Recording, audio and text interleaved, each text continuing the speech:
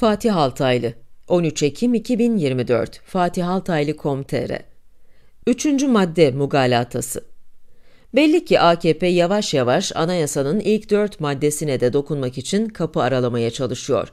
Türkiye Büyük Millet Meclisi Başkanı Profesör Doktor Numan Kurtulmuş'un üçüncü madde değişmelidir cümlesinin başka anlamı yok. Has Parti Genel Başkanı iken Erdoğan'a en ağır eleştirileri yapan Kurtulmuş'un bugün bu sözleri parti liderliğinin haberi olmaksızın etmiş olması mümkün değil. Ancak yaptığı tam bir mugalata.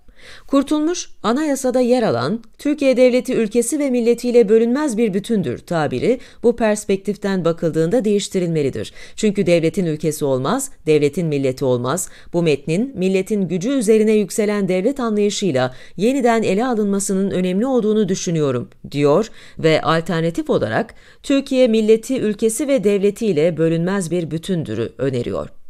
Bana göre bu yaklaşım ya bir ön yargının ya da bir sui niyetin ürünü. Çünkü ben ve iyi niyetli herkes Kurtulmuş'un hatalı bulduğu metni şöyle okuyoruz. Türkiye devleti, ülkesi, milletiyle bölünmez bir bütündür. Ve zaten metin de böyle yazılmış. Ancak Kurtulmuş metni şöyle okuyor. Türkiye devleti, ülkesi ve milletiyle bölünmez bir bütündür. Bizim okuduğumuz şeklinde millet, devlet ve ülke kelimelerinin yerini istediğiniz gibi değiştirebilirsiniz, anlam aynı. Türkiye, milleti, devleti, ülkesiyle bölünmez bir bütündür de diyebilirsiniz. Türkiye ülkesi, devleti, milletiyle bölünmez bir bütündür diyebilirsiniz.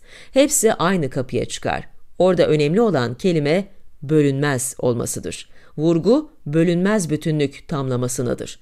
O yüzden de o maddede devletin D'sini küçük harf yaparsanız olur biter. Çünkü asıl mesele bölünmez olmasıdır bütün olmasıdır. Bu yüzden de o maddeleri fazla kurcalamamak gerekir. Elinizi bir kere içine sokmaya kalkıştığınız zaman içeride neyi tutacağınızı, elinizde ne kalacağını bilemezsiniz. Ne zaman insan oluruz? Zamanında bırakabildiğimiz zaman. Fatih Altaylı